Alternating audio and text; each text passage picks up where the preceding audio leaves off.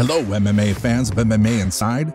Today, in this video, we bring you to the biggest upsets that has ever happened in MMA history. Before we go on, make sure to subscribe and like the video.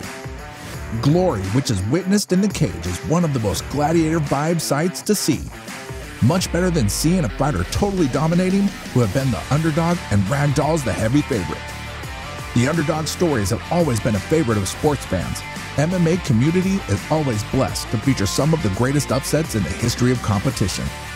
With those small paws, insane strength, and being a grappler in the sports, MMA fighters have all the skills necessary to dethrone anyone when they are close in the octagon. So here we bring it to you, the biggest upsets in the history of UFC. The fights listed here were some of the biggest upsets due to a number of factors, which include the breakdown of streaks, historical importance, records, rankings, and weight class all figured into the equation for deciding which 10 fights are by far the greatest upsets in UFC. Matt Serra versus Georges St. Pierre. This can be easily identified as amongst the greatest upsets, and actually the greatest upset in history. Matt Serra defeated Georges St. Pierre through a knockout at 325 of round 1. Hurt him three times in the last He's 60 seconds. Serra is the new welterweight champion of the world. Before the fight at UFC 69 back in April 2007, Georges St. Pierre was an obvious favorite over Matt Serra, with some pundits having him at a negative 1100 favorite to defend his title. Many fans considered his first title defense over Serra to be a gift, since it could have been easier and analysts were talking about who was the next challenger for the champion before Serra had even entered the cage. Just after the upset, Serra instantly became the most unexpected welterweight champion in UFC history. Serra entered the cage with an unbelievable gladiator spirit, looking confident and energetic. Matt Serra reacted to his win in the most humble way after the fight.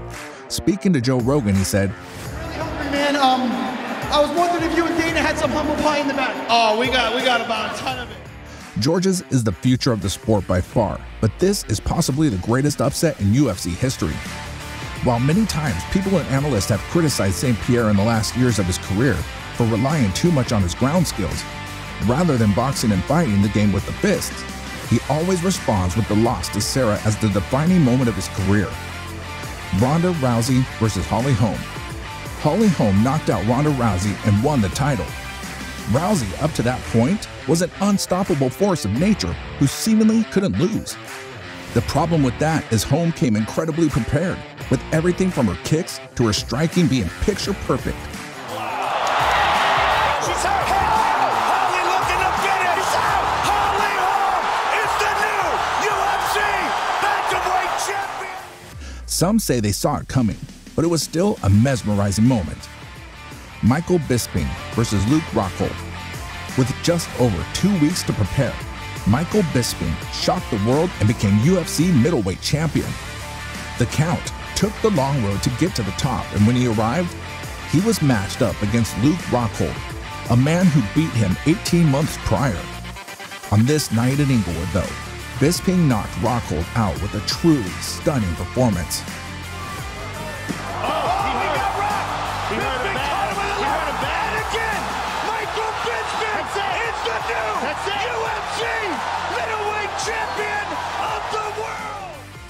Anderson Silva versus Chris Weidman.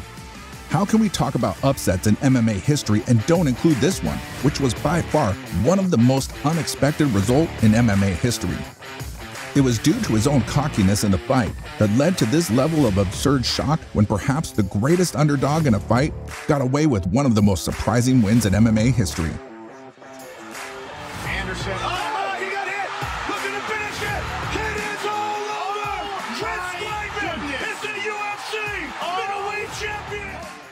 So that's enough from us today. Hope you enjoyed the video, and if you did, make sure to smash that subscribe button so you never miss upcoming MMA stuff. Till then, bye bye.